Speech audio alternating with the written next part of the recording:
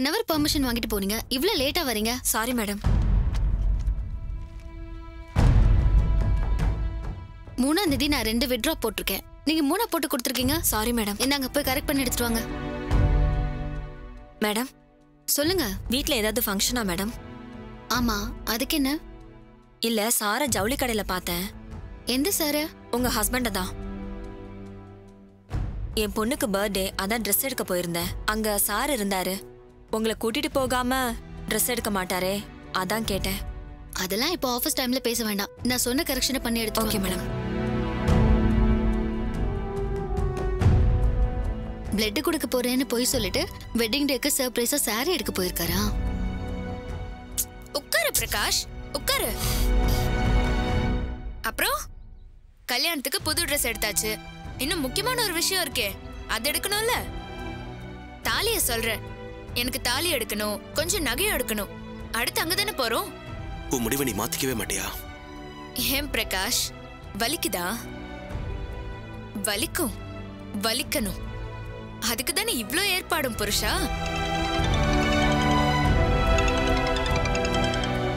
ஓ, நான் கொஞ்சம் தனியா பேசணும்.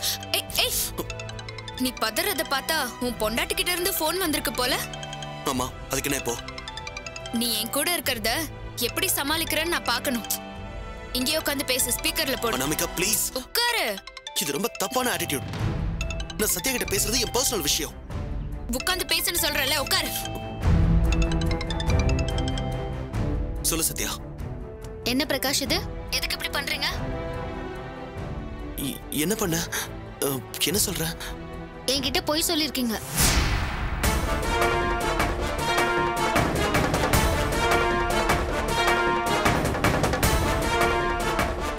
அது- எல்லாம் எனக்கு தெரியுங்க? ஃப்ரெண்டுக்கு ஆக்சிடென்ட் பிளட் கொடுக்க போறேன்னு சொன்னது போய்.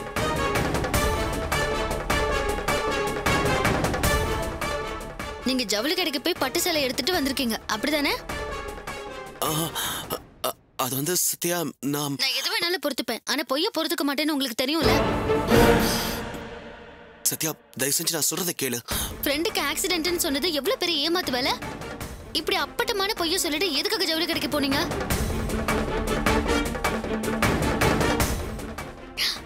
நம்ம மூணாவது வெட்டிங் ஆனிவர்சரிக்கு என்கிட்ட போய் சொல்லிட்டு எனக்கு சர்ப்ரைஸ் கொடுக்க கிஃப்டா பட்டுப்புடவை வாங்க கடைக்கு போயிருக்கீங்க. அப்படிதானே? ஆமா சத்யா. உனக்கு எப்படி தெரியும்? பொய் சொல்லிட்டு போயிருக்கீங்க. ஆனா அதுக்கு தகுந்த மாதிரி நடந்துக்க தெரியலையே. நீங்க ஜவுளி கடையில இருந்து வெளியில வந்தப்போ எங்க ஆபீஸ் ஸ்டாஃப் ஒருத்தவங்க பாத்திருக்காங்க நான் இல்லாம நீங்க மட்டும் பர்ச்சேஸ் பண்ணதை பார்த்துட்டு என்கிட்ட வந்து சொன்னாங்க. சரி என்ன கலர் புடவை எடுத்திருக்கீங்க அது அது வந்து என்னங்க? இப்படி யோசிக்கிறீங்க? கொஞ்ச நேரத்துக்கு முன்னாடி தானே எடுத்திருக்கீங்க? இல்ல இல்ல. அது லைட் கிரீன் புடவை. ஐயோ என்னங்க நீங்க? எனக்கு அந்த கலர் பிடிக்காதுன்னு உங்களுக்கு தெரியாதா? எதுக்கு இந்த சர்ப்ரைஸ் எல்லாம்? என்னையும் கூட்டிட்டு போயிருந்தா எனக்கு பிடிச்சதா செலக்ட் பண்ணிருக்கலாம்ல. அது வந்து உனக்கு இந்த கலர் பிடிக்கும்னு நினைச்சேன். சி போங்க. சரி எதுவா இருந்தாலும் வீட்ல பேசிக்கலாம். ஆ பில்லு போட்டு தானே வாங்கியிருக்கீங்க? ஆ ஆமா. பில் போட்டு தான் வாங்கியிருக்கேன். சரி அப்ப பிடிக்கலன்னா எக்ஸ்சேஞ்ச் பண்ணிக்கலாம். எப்படியோ நீங்க என்ன செஞ்சாலும் எனக்கு தெரிஞ்சிரும். எனக்கு தெரியாம நீங்க எதுவுமே பண்ண முடியாதுன்னு இப்ப ப்ரூவ் ஆயிடுச்சு. சரி ஆபீஸ் டைம்ல இப்ப உங்ககிட்ட சண்டைலாம் போட முடியாது. பேலன்ஸா வீட்ல வச்சுக்கிறேன். ஓகே பை பாய் எனக்கும் என் ஒய்ஃபுக்கும் இந்த மாதிரி சின்ன சின்ன சந்தோஷம் ஆயிரம் இருக்கும். இதுக்கெல்லாம் நீ கோவப்படவும் முடியாது கண்டிக்கவும் முடியாது. அதெல்லாம் இல்ல. அந்த பைத்தியக்காரி சத்யா பெரிய ஃப்ராடு பையன் உன் மேல போய் பைத்தியமா இருக்கா பாரு. அத நினைச்சு பார்த்தேன் நான் கிளம்புறேன். பொண்டாட்டி கிட்ட இருந்து போன் வந்ததும் வீராதி வீரர் கிளம்பி போறாரு. வேற என்ன வேணும்? இன்னும் தாலி எடுக்கணும் நகை எடுக்கணும். நிறைய வேலை இருக்கு. ஆனா உன் பொண்டாட்டி உன் மேல வச்சிருக்கிற நம்பிக்கை எனக்கு ரொம்ப பிடிச்சிருக்கு. நீ எவ்ளோ பெரிய கேடி? நீ என்னென்ன பண்ணுவேன்னு எதுவுமே தெரியாத அப்பாவி பொண்ணுதான் அந்த சத்யா. இப்ப என்ன? நீ வரியானா போட்டா? அது எப்படி? தாலி கட்ட போறவன் இல்லாம தாலி எடுக்க முடியுமா? தாலியோ நகையோ எடுப்போம். வா. வா. உன் பாடுதான் பாவம் பிரகாஷ். ஒரு பொய்ய சொல்லிட்ட இனிமேதான் உன் பொண்டாட்டிக்கு அந்த லைட் கிரீன் பட்டு புடவையே எடுக்கணும். அதை பத்தி நீ கவலைப்பட வேணாம். நீ என்ன வேணா பண்ணு. எங்க வேணாலும் போ.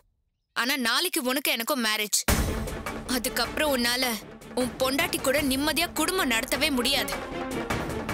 அதனால என்ன பண்ற? நாளைக்கு நம்ம மேரேஜ் முடிஞ்சதும் என் கூட எவ்வளோ டைம் ஸ்பெண்ட் பண்ண முடியுமோ அவ்வளோ டைம் ஸ்பெண்ட் பண்ணணும். வா.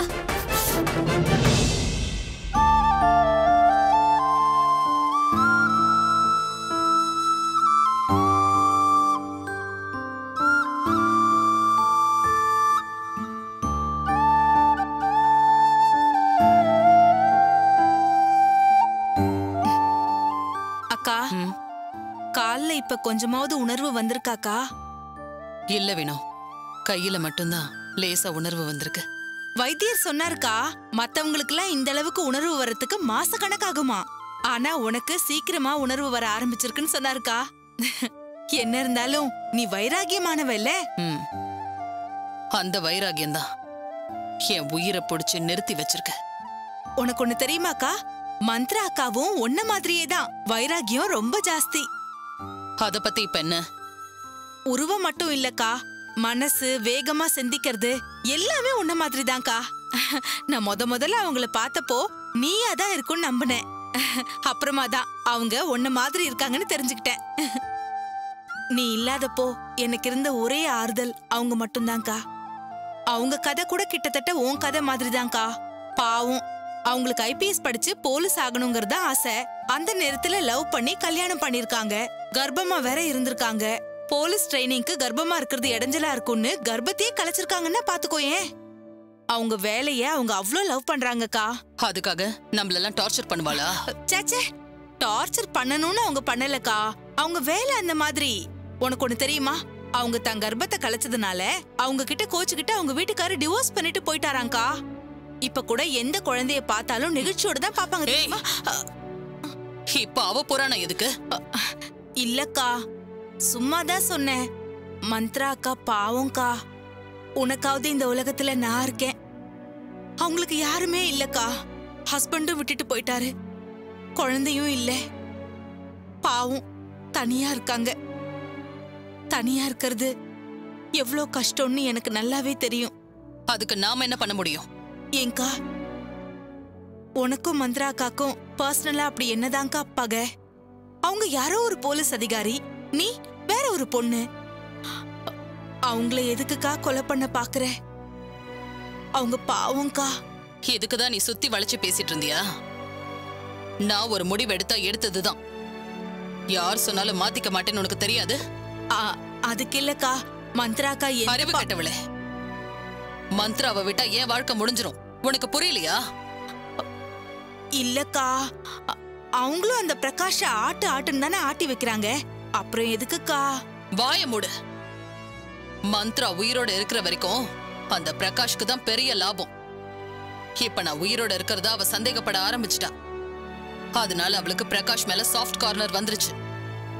நாளைக்கே அவ என்ன கண்டுபிடிச்சிட்டா அந்த பிரகாஷ் சந்தோஷமா சுதந்திரமா வாழ ஆரம்பிச்சிருவான்.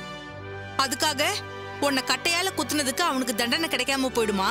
அது வெறும் சின்ன தண்டனையா தான் இருக்கும். அதனால அவனுக்கு எந்த பாதிப்பும் இருக்காது. அவன் தப்பிச்சு நான் மாட்டிக்கிறதுக்காகவா இவ்வளவு போராடிட்டு இருக்கேன்?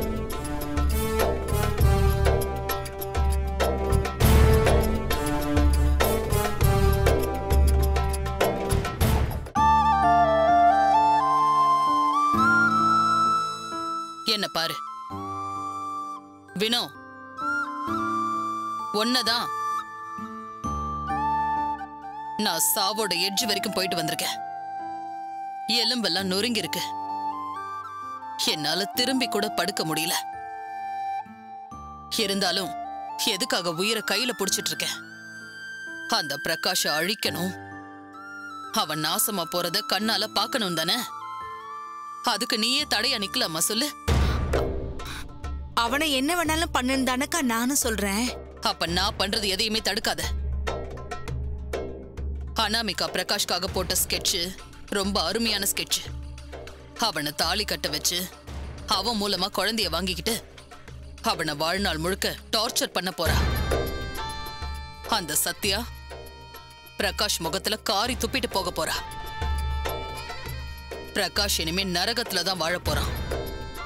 ஒரு பொண்ணா அனாமிகாவை பத்தி யோசிச்சியா? அதெல்லாம் எனக்கு புரியாம இல்லக்கா. இதெல்லாம் நடக்கணும்னா நான் போலீஸ்ல மாட்டக்கூடாது. அனாமிகா பிரகாஷ் எதை வச்சு மிரட்டுறான்னு தெரியும்ல? பிரகாஷ் என்ன கட்டையால குத்துன வீடியோவை வச்சுதான். நான் போலீஸ்ல மாட்டிக்கிட்டா? அந்த வீடியோவால எந்த பிரயோஜனமும் இல்ல. பிரகாஷ் அவ சொல்றபடி கேட்கணுங்கிற அவசியமும் இல்ல. அவன் ஈஸியா தப்பிச்சிருவான். எல்லாம் புரியுதுக்கா. ஆனா மந்திரா அக்காவை ஒன்ன மாதிரியே நினைச்சு நான் உங்க கூடவே இருந்துட்டேன். அவங்கள போய் நீ கொலை பண்ண போறேன்னு நினைக்க நினைக்க எனக்கு மனசே ஆறல. அதாங்க கேக்குறேன். அதுக்கு என்ன பண்ண முடியும்? அவ தலைவிதி அப்படி. பிரகாஷ பழி வாங்குறதுக்கு வேற எத்தனையோ வழி இருக்கேக்கா. இந்த வழியில தான் பழி வாங்கணுமா? மந்த்ரா அக்காவை பலி கொடுத்தே ஆகணுமா? சர்வைவல் ஆஃப் த ஃபிட்டஸ்ட்னு ஒரு தியரி இருக்கு. யாரு பலமானவங்களோ அவங்களுக்கு தான் வாழ்றதுக்கு தகுதி இருக்குன்னு சொல்லுவாங்க. அது நாட்டோட சட்டம் இல்ல காட்டோட சட்டம். எனக்குள்ள இருக்கிறதும் அந்த சட்டம் தான் நான் வாழணும்னா அதுக்காக யார வேணும்னாலும் கொல்லுவேன். எத்தனை பேரை வேணும்னாலும் கொல்லுவேன். அப்போ நாளைக்கே நீ வாழறதுக்கு நான் தடையா இருந்தா? எனக்கும் அதே கதிதானா? ஆமா.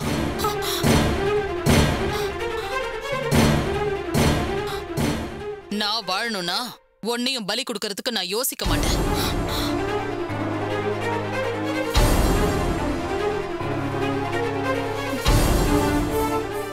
என்னக்கா இப்படியெல்லாம் பேசுற? இங்க யாரு ஒழுக்கம் சொல்லு? இப்ப இப்படி பாசமா பேசுறியே? நீ எப்பவும் எனக்கு விசுவாசமா தான் இருந்தியா? ஒரு நேரத்துல நான் ஒளிஞ்சிருந்த இடத்த போலீஸ்ல காட்டி கொடுத்து என்னையே ஜெயிலுக்கு அனுப்புனவ தானே நீ?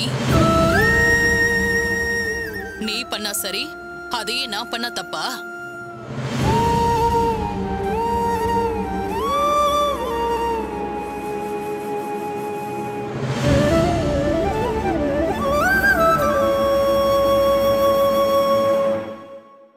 இது ஏன் வாழ்க்கை? இதுக்காக உயிரை கையில புடிச்சுக்கிட்டு போராடிட்டு இருக்கேன். இதுல குறுக்க பேசுறதுக்கு உனக்கு எந்த ரைட்ஸும் இல்ல. இந்த கட்டத்துல இருந்து நான் தப்பிக்கணும்னா அந்த மந்த்ராவை பலி கொடுத்தே தான் ஆகணும். அவளை கொலை பண்ண போறது உறுதி.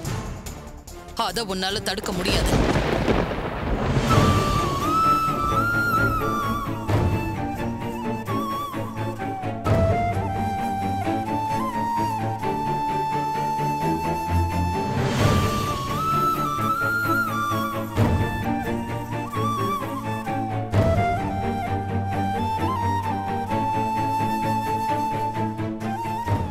இனிமே மந்த்ரா பேச்சு எடுக்கவே கூடாது. அவ செத்தா ரெண்டு சொட்டு கண்ணீர் வடி. என் கோர்ட்டுல தண்டனை மட்டும்தான். மன்னிப்பே கிடையாது.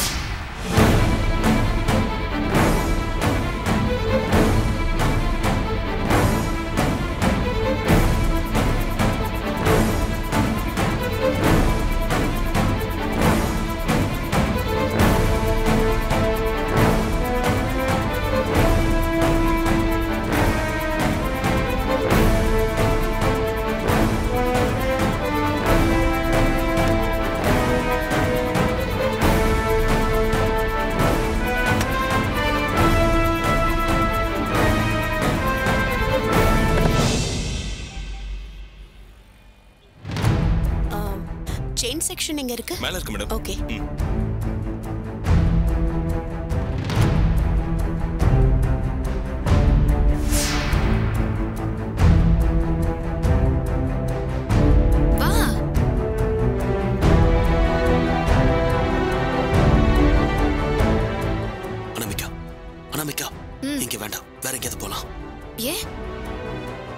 இந்த நகைக்கடை தான் ரொம்ப ராசியான நகைக்கடைன்னு என் ஃப்ரெண்ட்ஸ் எல்லாம் சொன்னாங்க. எந்த நகைக்கடையா இருந்தா என்ன? சொன்னா கேளு. எங்க வீட்ல வழக்கமா சின்ன நகை வாங்குறதுனா கூட இங்கே தான் வருவாங்க. யாராவது வந்தாங்கன்னா நான் தொலைஞ்சேன். ரொம்ப இன்ட்ரெஸ்டிங் இந்த மாதிரி ட்விஸ்ட் தான் எனக்கு ரொம்ப பிடிக்கும். வா நம்ம இங்க தான் நகை வாங்க போறோம். வந்து உட்காரு. வா. ம்.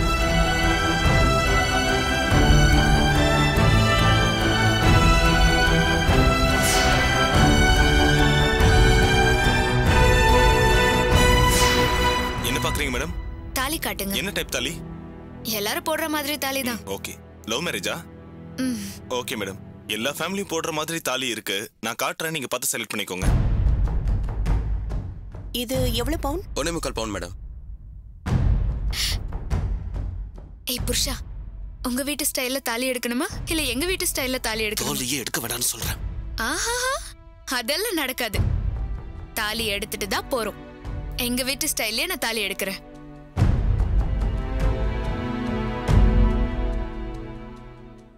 பாருங்க மேடம்.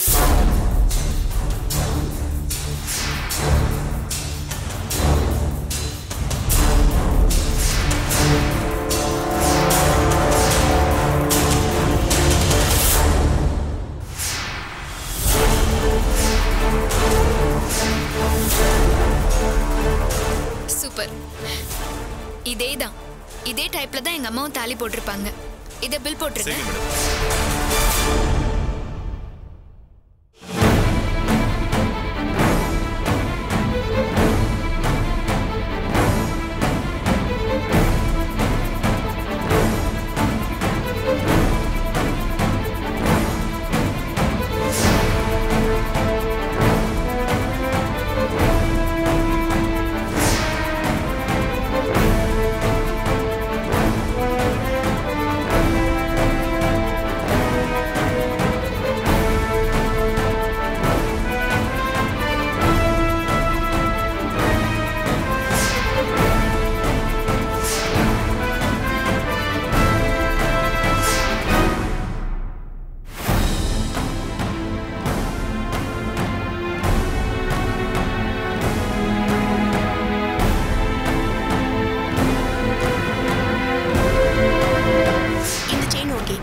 பண்ணிடுங்க. ஓகே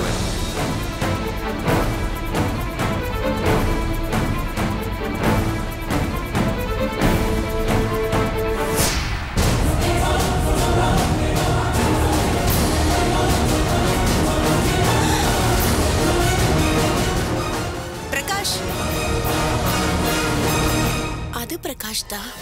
ஆனா அந்த பொண்ணு யாருன்னு பார்க்க முடியலையே. Madam bill ready.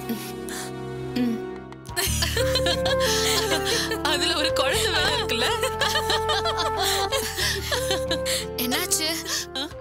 இன்னைக்கு காயத்ரி ரொம்ப ஃப்ரெஷ்ஷா இருக்கிற மாதிரி இருக்கு. அக்காக்கு இன்னைக்கு நான் ஸ்பாஞ்ச் பாத் கொடுத்தேன். அதனாலதான். என்னாச்சு அனாமிகா? போன காரியம் முடிஞ்சதா? ம் முடிஞ்சிருச்சு. சுபம் கல்யாண புடவை எடுத்தாச்சு. நகை தாலி எல்லாம் கூட எடுத்தாச்சு. எல்லாத்துக்கும் பிரகாஷ் என் கூடவே தான் இருந்தான். அப்படியா? காட்டுங்க பாப்போம். எப்படி மேடம்? இவ்வளவும் வாங்குற வரைக்கும் அவன் உங்க கூடவே வரந்தான் வேற வழி? சர்க்கஸ்ல சிங்கம் சாட்டி எடுத்தா பயப்படுற மாதிரி. அவன் அந்த வீடியோவை வச்சு என் இஷ்டப்படி ஆட்டி வைக்கிறேன். பொண்டாட்டினா உயிருங்கிற மாதிரி சீன் போடுவானே. இப்போ அவன் உன் கூட சுத்தும் போதெல்லாம் அவன் மனசாட்சி தூங்க போயிடுச்சா? அதை ஏன் கேக்குறீங்க? நான் தொட்டு தொட்டு பேசுறப்போலாம் அவன் மூஞ்சி போற போக்க நீங்க பாக்கணுமே நெளிறான் மூஞ்சி திருப்பிக்கிறான் பதறான். யாராவது பாத்துருவாங்களோன்னு திரும்பி திரும்பி பாக்குறான் அத பாக்க பாக்க எனக்கு ரொம்ப ஹாப்பியா இருந்தது. ஐயோ அவன் படுற பாட்டை நான் பார்க்காம போயிட்டேனே. நீ சரியான ஆள்தான் அனாமிகா அவன் பயப்பட பயப்பட நான் குஷி ஆயிடுறேன். அவனை மேல மேல சீண்டிக்கிட்டே இருந்தேன். ஷாப்பிங்க முடிக்கிறதுக்குள்ள நூறு தடவை மனசுக்குள்ள செத்து போயிட்டான். என்னோட ஆத்திரம் எல்லாம் அவனோட முகத்தை பார்க்க பார்க்க மெல்ல மெல்ல குறைஞ்சு போகுது. ஆத்திரம் எல்லாம் முழுசா குறையவே கூடாது அனாமிகா அது ஒண்ணும் குறையாது. நீங்க கவலைப்படாதீங்க. ஆ நாங்க ஒன்னா புடவை எடுத்தத அந்த சத்யா கூட வேலை பார்க்குற ஸ்டாஃப் யாரோ பாத்துட்டாங்க அட இது வேறயா? அப்புறம் அப்புறம் என்னாச்சு? சத்யா கிட்ட போட்டு கொடுத்திருக்கா. சத்யா ஃபோன் பண்ணி அவன் கிட்ட எல்லா விவரத்தையும் கேட்க ஆரம்பிச்சிட்டா. சத்யா அவனை கிழி கிழின்னு கிழிச்சிருப்பான்னு நினைக்கிறேன். அதான் நடக்காம போயிடுச்சே. அவ பாட்டுக்கு இவனை கொஞ்ச ஆரம்பிச்சிட்டா. ஐயே என்னது இது? அவ புருஷன் வேற யார் கூடயும் சுத்திக்கிட்டு இருந்தா இவளுக்கு கவலையே இல்லையா? அதான் இல்ல. அவங்க வெட்டிங் டேக்கு இவன் சர்ப்ரைஸா துணி எடுத்திருக்கான்னு நினைச்சிட்டா. ஓ ஒரே கொஞ்சல் கொலாவல். எனக்கு அதை பார்க்கவே கடுப்பாயிடுச்சு. அநேகமா அந்த ஸ்டாஃப் நீங்க கூட இருந்தத பாத்திருக்க மாட்டான்னு நினைக்கிறேன். அதான் அவ சரியா வத்தி வைக்காம விட்டுட்டா. நகை எடுக்கிறப்ப அவனோட மூஞ்சிய பார்க்கணுமே. எனக்கு இன்னைக்கு முழுக்க ஷாப்பிங் ஒரே என்ஜாய்மெண்டா இருந்தது. இதுக்கே சந்தோஷப்பட்டுக்காத அனாமிகா? நீ முதல்ல மேரேஜ் முடி. உன் கழுத்துல தாலி ஏறணும். உங்களோட சாந்தி முகூர்த்தம் முடியணும்.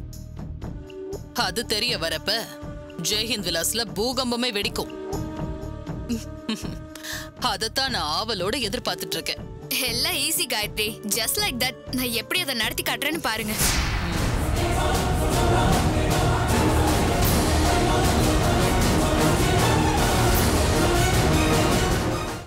நீங்க எல்லாரும் கீழே இருக்கிற சப்ஸ்கிரைப் பட்டனை மறக்காம பிரஸ் பண்ணுங்க.